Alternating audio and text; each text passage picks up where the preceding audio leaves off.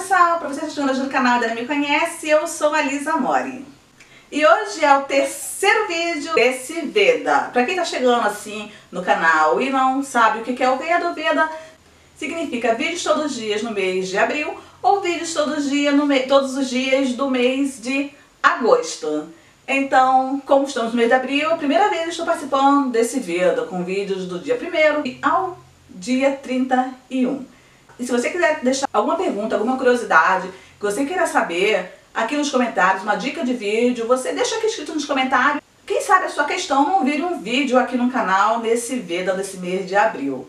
O nosso primeiro vídeo do Veda foi uma questão deixada por um, um inscrito aqui do canal que deixou uma pergunta, uma curiosidade aqui, no, aqui nos comentários. Então, quem sabe a sua também não vire.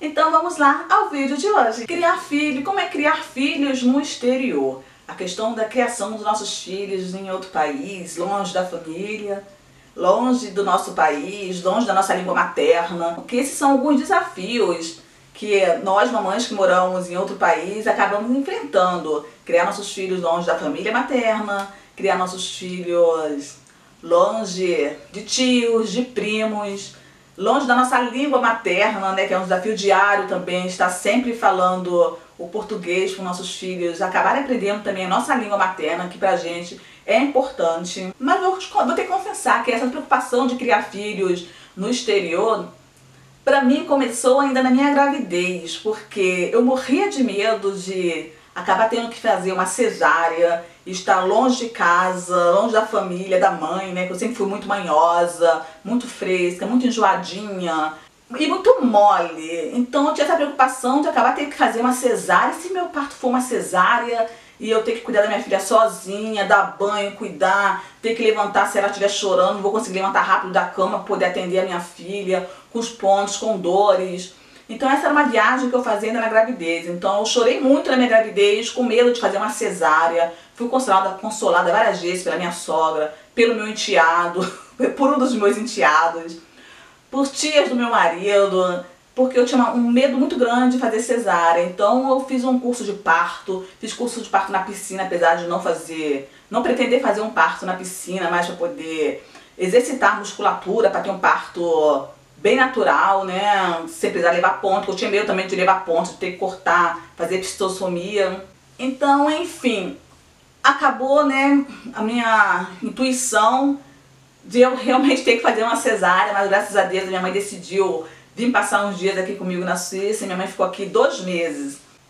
Minha mãe ficou dois meses e teve que ir embora, né? E aquela preocupação, minha família também no Brasil preocupada se eu iria acabar cuidando direitinho da minha bebê, porque eu sou um pouco estabanada, eu esbarro nas coisas, eu deixo as coisas cair, eu caio. Então se tinha essa preocupação, porque eu caí três vezes com os meus sobrinhos, com os meus, eu tenho três sobrinhos, eu caí com cada um, eu levei um tombo com, com eles no colo. Então, eu sou estabanada, então era assim uma preocupação. Graças a Deus eu nunca caí com a minha filha, né? Era o maior risco com a minha filha, porque ela era bebezinha, né? Então eu estaria com ela carregando assim para baixo, bebezinha. Não teria como fugir. E é uma preocupação toda nós mamães que moramos em outro país, né? Uma expatriada, num desses desafios que é criar um filho no exterior, nós passamos por essa questão também de não ter ajuda. É que no Brasil, quando a mulher pare, né? Vou falar pare, gente. Eu tenho descendência nordestina, né? Então fala pare. o que nós passamos é a preocupação de o nosso filho acabar adoecendo e não ter um, a mãe da gente, do lado, né, a avó do bebê, o tio, as tias, né, que só tem irmãs, minhas tias, primos, né, já crescidinhos, que acaba ajudando. Deu uma ajuda muito grande a uma prima minha nos três filhos que ela teve. E a gente tem esse costume no Brasil e aqui não. Então é você com você mesmo, segura na mão de Deus e vai, né? Tem que ir mesmo, porque o bebê tá precisando de você, é totalmente dependente de você, o seu bebê o nosso filho, né, até quando tá crescidinho, é a gente com a gente mesmo, não tem pra onde correr. Então aqui não, aqui não tem, não você tem esse costume de se ajudar assim. A minha sogra, ela sim me deu um apoio muito grande. Ela vinha em casa toda semana, ver se eu estava bem e tudo mais. Claro, ela não vinha me ajudar com o bebê, mas ela passava a tarde aqui para visitar a neta umas duas, três vezes na semana. Mas ela sempre me deu um apoio, um apoio muito grande, emocional. Mas quando eu estava grávida, ela sempre pedia se, se eu não queria que ela passasse as roupas aqui de casa, se eu não estava precisando que ela colocasse a roupa minha para lavar. E ela, apesar de ser suíça, ela, esse apoio sim ela me deu, mas eu não precisou passar minha roupa não.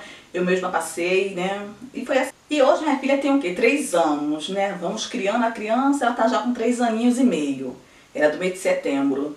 E o que me dói nesse, nessa questão de estar criando minha filha no exterior é o, ela não ter o contato com os primos. A minha filha tem só três primos. E esses três primos são os meus sobrinhos. Meu, meu marido tem um irmão, e, mas ele não tem filho, nem pretende ter filho. No Brasil, a gente sabe, né, aquele costume, eu acredito que você também que está assistindo, seja brasileiro, tem aquele costume de brincar com os primos, que moravam mais perto e tudo na casa da tia que mora do lado, brincar com a prima, com os primos. E isso a minha filha não tem, porque ela não tem primos. Isso me dói um pouco, porque me fez bem eu brincar com os meus primos quando era pequena. A semana mesmo a gente ia do lado para poder brincar com minhas primas, passar um tempo na casa da minha tia pentelhando. E é a oportunidade de fazer isso minha filha não tem. Então isso me, me, dá, me dá um pouco ela não ter o convívio dos meus sobrinhos, dos únicos primos que ela tem me dói um pouco. Eu queria ter essa oportunidade de ver minha filha. Desculpa. Brincando com os meus sobrinhos, tendo convívio com os primos. E a minha filha também só tem só um tio aqui. Meu marido só tem um irmão. Então eu tenho duas irmãs no Brasil. E isso entristece não ter aquele convívio com as tias, com a minha mãe, com a avó materna. Só que minha mãe já vem aqui. Minha mãe, vez quando vem aqui visitar a gente. Isso dói um pouco. Aquilo que doa em todos nós que estamos em outro país, criando os nossos filhos.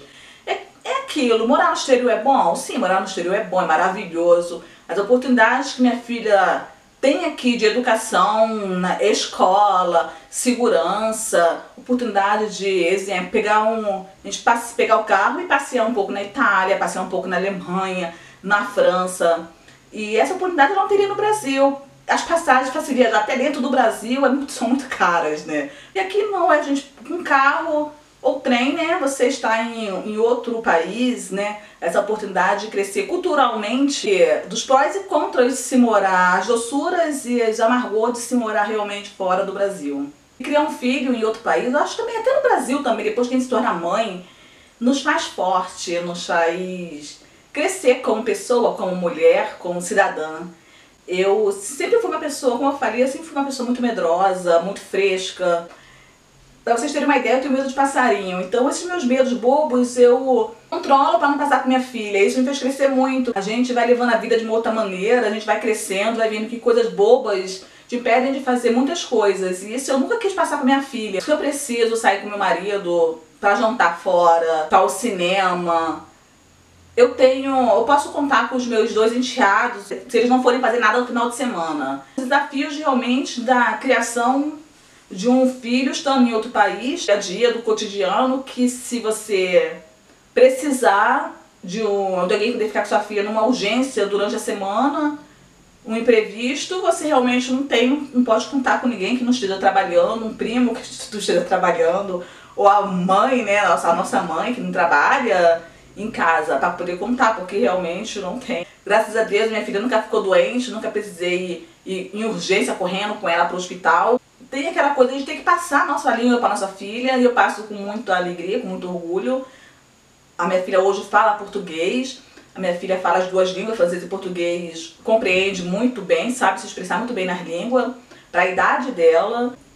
Mas é aquela peleja diária, né? Que às vezes você fala em português, vezes você quer falar em francês, você fala com ela em português e batalhando sempre para poder ela crescer o vocabulário dela na língua portuguesa para poder falar com as famílias brasileiras que realmente não falam francês. Então isso é um desafio, uma peleja muito grande na criação de um filho em outro país, porque a língua materna nossa, da mãe, né, a nossa língua materna, português, eu, tenho, eu vejo como uma obrigação minha, um dever meu passar para minha filha. Eu, eu criei minha filha sem podar. Eu criei minha filha para poder encarar o mundo. É, a minha filha, ela é muito independente, ela sabe se trocar de roupa sozinha, desde os, antes dos dois anos de idade ela já não usava mais descartável, ela come todos os legumes, todas as verduras, né? Claro que tem algumas coisas que ela não gosta, mas eu criei minha filha muito independente, porque eu fui mãe depois dos 35 anos, então é aquele medo, né, que mãe é boba, né, de um dia chegar a faltar e a minha filha saber ser independente, saber se trocar, saber já se virar um pouquinho no mundo. Então eu não posso a minha filha, apesar de eu ser muito medrosa, mas eu criei minha filha para ela encarar o mundo e eu vejo isso como um grande desafio, até para mim mesma, porque eu não pensei que eu fosse ser uma mãe assim tão libertária com a minha filha, com a idade que ela tem. As sobrinhas sempre até falavam, tia, a senhora só vê tragédia. Que se queria subir no murinho, eu não sobe daí que você vai cair, vai se machucar, vai quebrar o braço. E com a minha filha não, já deixa ela subir no murinho, já deixa ela escalar uma, o que ela tem que escalar. E isso me fez bem, criar minha filha aqui, estar criando a minha filha aqui no exterior, porque abriu meus olhos, tirou uma venda que eu tinha nos olhos para as coisas do mundo, que o mundo está aí para ser vivido realmente, claro, que com muita responsabilidade, com muita atenção. Esse foi o nosso terceiro vídeo do Veda. Espero que vocês tenham gostado. Estou no Instagram, arroba Lisamore, Vida na Suíça. Beijo pessoal, fique com Deus, tchau, tchau e até o próximo vídeo.